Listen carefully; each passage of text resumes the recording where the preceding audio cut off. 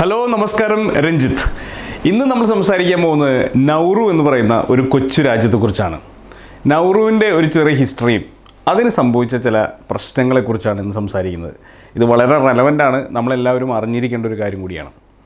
Nauru ഒരു ചെറിയ ദ്വീപ് രാഷ്ട്രമാണ്. ഓസ്ട്രേലിയയിൽ നിന്ന് കുറച്ച് മാറി പസഫിക് സമുദ്രത്തിലുള്ള ഒരു കൊച്ചു ദ്വീപാണ് നൗറു എന്ന് പറയുന്ന വളരെ ചെറിയ ഒരു രാജ്യം. ഏകദേശം പത്ത് പതിനായിരം ആളുകളൊക്കെ അവിടെയുള്ളൂ. ആ ചെറിയ പോപ്പുലേഷൻ മാത്രമുള്ള ഒരു രാജ്യമാണിത്.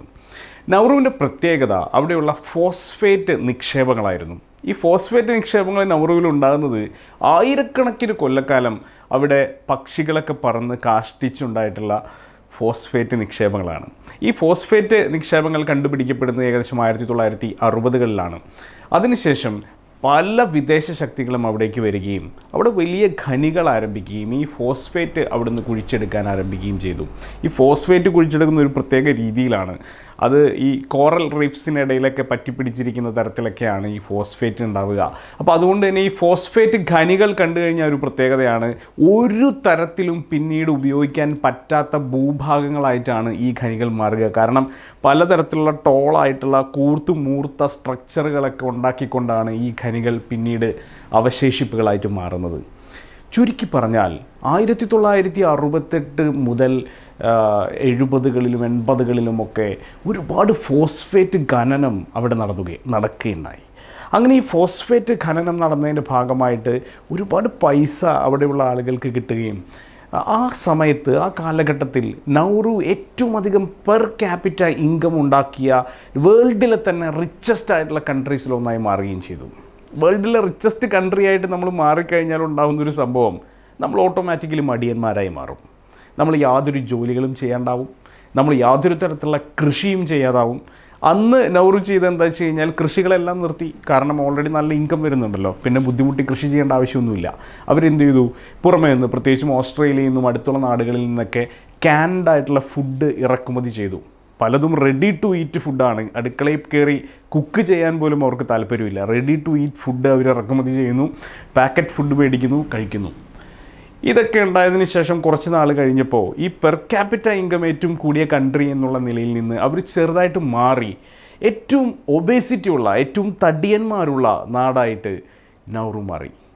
അവിടെയുള്ള ഓൾമോസ്റ്റ് എല്ലാ ആളുകൾക്കും സാധാരണ ആവശ്യമുള്ളതിനേക്കാൾ കൂടുതൽ തടിയുള്ള ആളുകൾ ഏറ്റവും അധികം ഡയബറ്റീസ് ബാധിച്ച ആളുകളുള്ള സ്ഥലം എന്നുള്ള കുപ്രസിദ്ധിയൊക്കെ നേടുന്ന തരത്തിൽ നൗറു മാറുകയാണ് ഉണ്ടായത് അതുമാത്രമല്ല ഉണ്ടായത് മാറ്റം.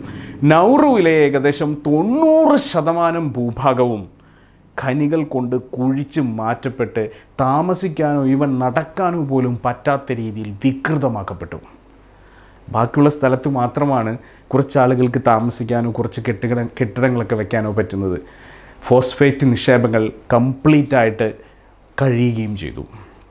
ചുരുക്കി പറഞ്ഞാൽ അവിടെ ഉണ്ടായിരുന്ന ഫോസ്ഫേറ്റ് നിക്ഷേപങ്ങൾ മുഴുവനായിട്ടും എടുക്കപ്പെട്ടു.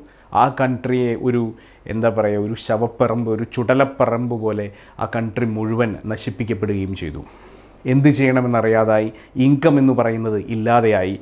യാതൊരു പണിയും അറിയാത്ത അലസരായ ഒരു വലിയ ജനവിഭാഗം അവിടെ അവശേഷിച്ചു. പിന്നീട് അവർ പലതരത്തിലുള്ള പരിപാടികൾ ചെയ്തു നോക്കി. എല്ലാ ആളുകൾക്കും ഒരു ഫീസ് വെച്ചുകൊണ്ട് അവരുടെ രാജ്യത്തെ പാസ്പോർട്ട് ഇഷ്യൂ ചെയ്യാൻ തുടങ്ങി. ചില രാജ്യങ്ങളിലെ ക്രിമിനലുകൾ ക്രിമിനലുകളെ പാർപ്പിക്കാനുള്ള സ്ഥലമാക്കിയിട്ട് നൗറുവിനെ വാടകയ്ക്ക് കൊടുക്കാൻ തുടങ്ങി. ഓസ്ട്രേലിയയിലെ റെഫ്യൂജീസിന് വേണ്ടിയിട്ട് അവർ സ്ഥലമൊരുക്കി. ഇങ്ങനെയുള്ള പല ആക്ടിവിറ്റീസും ചെയ്തു നോക്കിയെങ്കിലും ഏതെങ്കിലുമൊക്കെ പലപ്പോഴും ബാങ്കുകൾ അതുപോലെ മണി ലോണ്ടറിങ്ങിനുള്ള അവസരങ്ങൾ ഒക്കെ അവർ ഉണ്ടാക്കി നോക്കി. പക്ഷേ ഇതിലൊന്നും അവർക്ക് ഫിനാൻഷ്യലി സസ്റ്റെയിൻ ചെയ്യാൻ പറ്റിയിട്ടില്ല ഈ നിമിഷം വരെ. അവർ ഇപ്പോഴും വലിയൊരു ചോദ്യചിഹ്നമായി തുടരുകയാണ്. നമ്മുടെ നാട്ടിലേക്ക് ആലപ്പാട് പോലുള്ള സ്ഥലങ്ങളിലേക്ക് വലിയ ഖനനങ്ങളൊക്കെ വരുന്ന സമയത്ത് നമ്മുടെ മനസ്സിലുണ്ടാവേണ്ട വലിയൊരു എക്സാമ്പിളാണ് ഉദാഹരണമാണ് നൗറു എന്ന് പറയുന്ന ആ കൊച്ചു രാജ്യം.